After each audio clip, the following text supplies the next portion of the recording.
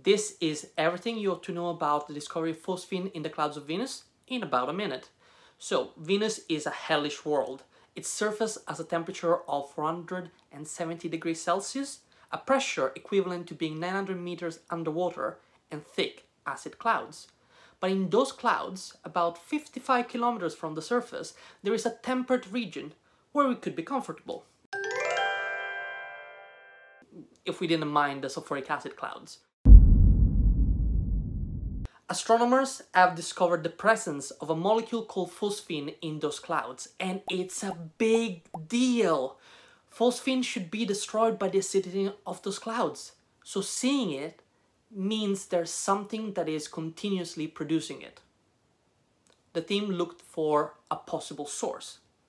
Could it be lightning, volcanoes, micrometeorites? None of these could realistically create the signal they are observing. So the team is left with two options. Either there is an unknown photochemical or geochemical mechanism that can form phosphine, or the source is a living organism. No, it's probably not aliens, or at least we cannot be sure it is yet. But it's really exciting. Women are not from Venus, but maybe some microorganisms are.